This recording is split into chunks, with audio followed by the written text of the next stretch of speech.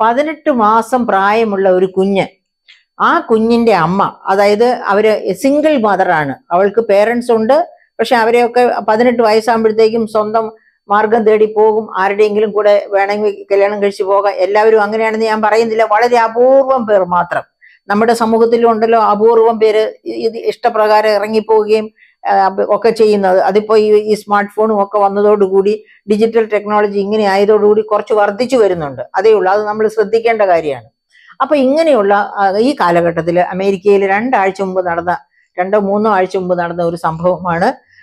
അത് എന്താണ് സംഭവിച്ചത്? പതിനെട്ട് മാസം പ്രായമുള്ള ഒരു കുഞ്ഞിനെ അതിന്റെ അമ്മ അവിടുത്തെ രീതിയിലുള്ള ഒരു പിള്ളത്തൊട്ടിൽ എന്ന് പറഞ്ഞാൽ എന്താ എങ്ങനെ ഇരിക്കുന്നു എനിക്ക് അറിഞ്ഞുകൂടാ ആ തൊട്ടിലിൽ കിടത്തി തൊട്ടി തൊട്ടിലാക്കിയിട്ട് അതിന് ഏതാനും കുപ്പികളിൽ പാൽ കുടിക്കാൻ വേണ്ടി കൊച്ചിന് ഈ പതിനെട്ട് മാസം പ്രായം എന്ന് പറഞ്ഞാൽ ഒന്നര വയസ്സുണ്ട്. അപ്പൊ ഗു- പാൽക്കുപ്പി ഇതിനകത്തുനിന്ന് പാലെടുത്ത് കുടിക്കാനൊക്കെ കൊച്ചിന് അറിയാം അപ്പൊ അങ്ങനെ പാലൊക്കെ ഒരു മൂന്നാൽ കുപ്പി പാലൊക്കെ അതിനകത്താക്കി വെച്ചിട്ട് ഈ അമ്മ കാമുകനോടൊപ്പം എവിടെയൊക്കെയോ സഞ്ചാരത്തിന് പോകുന്നു.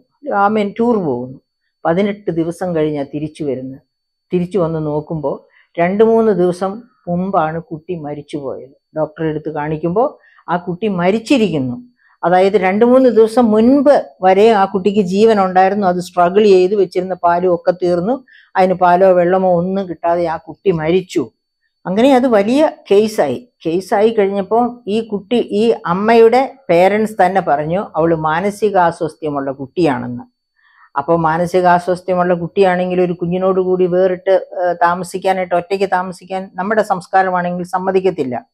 അമേരിക്കൻ സംസ്കാരത്തിൽ അതിലൊന്നും കുട്ടികളുടെ സ്വാതന്ത്ര്യത്തിൽ ഇടപെടാൻ പാടില്ല എന്ന കാരണം കൊണ്ടാകാം അവർ ഇടപെടാതിരുന്നത്. എന്താണെങ്കിലും ആ പെൺകുട്ടിക്ക് ആ അമ്മയ്ക്ക് ജീവപര്യന്തം കഠിന തടവിന് വിധിച്ചിരിക്കുകയാണ്.